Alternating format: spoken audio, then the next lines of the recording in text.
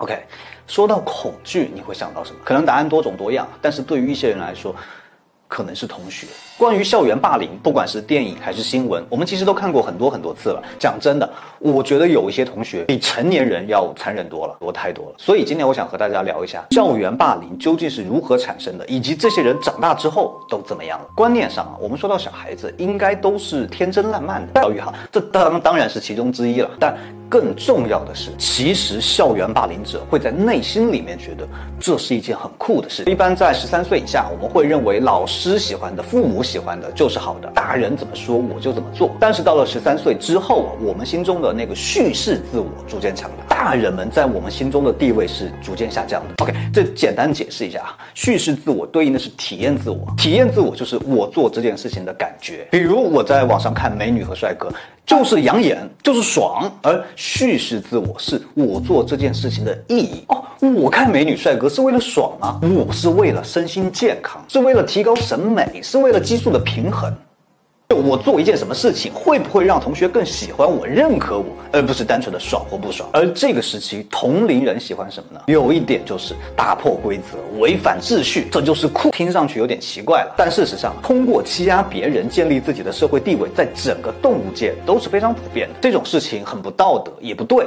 但遗憾的是，它确实有效果。尤其是对于很多思维方式还比较简单直接的青少年来说，他们真的会一定程度上认同，能去欺负别人就是很酷很有地位。而说到酷啊地位这些词的时候，我不知道你有没有感觉到有一点细思极恐。如果欺负别人只是为了好玩也就算了，而为了酷和地位。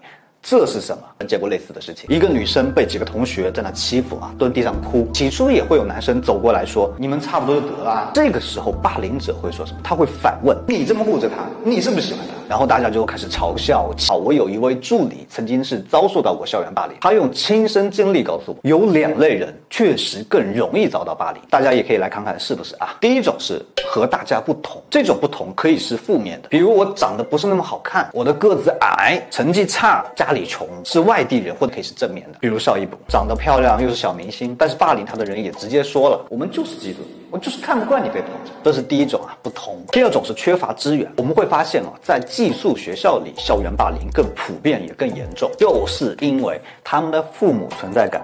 不高，甚至有的家长会对自己的小孩说啊，哎，是不是你有问题？为什么别人就欺负你不欺负别人？小孩子本来心智就不全嘛，那大人都这么说了，于是反复的拷问自己，是不是我真的有问题？所以缺乏社会资源会让欺负你的成本变得很低，没有人会来帮助你。而据我所知啊。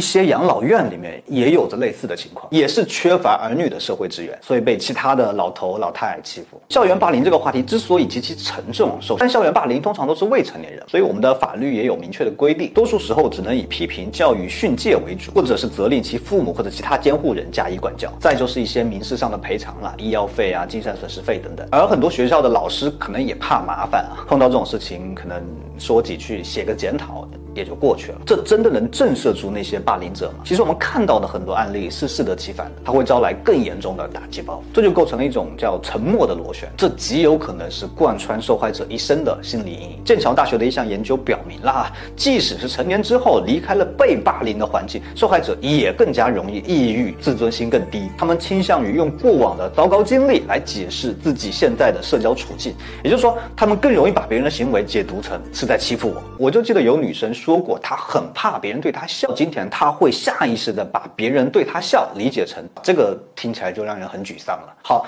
那这些霸凌者后来怎么样了？其实也不容乐观啊。虽然他们曾经在学校里是强者，但我们都知道这套玩法在成年人的世界里面是很荒唐的。真实的社会里，一个人想要受欢迎，靠的绝不是去欺负别人、使用暴力、拜高踩低。成年人的社交是靠价值和互惠说话的。弗吉尼亚大学的调查显示啊，十年后这些霸凌者通常失业、酗酒、吸。食一些不好的东西，他们很难交到真真心朋友，也不受异性的喜欢。这就让我想到了鲁迅，真的是鲁迅在《随感录二十五》里面说的一句话：小的时候不把别人当人，长大了之后也做不了人。所以聊完这些，我们能不能说，在校园霸凌这场残酷的游戏当中，其实是没有赢家的？也正因为如此，所以这可能才是我们必须去抵制的一件事情。当然，我这期视频能做的很有限了啊，只是当我做完这期视频之后，我开始觉得，只有这个问题被全社会重视到，它足以和其他的犯罪类型相提并论的时候，家长才会懂得去保护，学校老师才懂得去管理，霸凌者才会意识到这并不酷，被霸凌者才会意识到。我并没有错。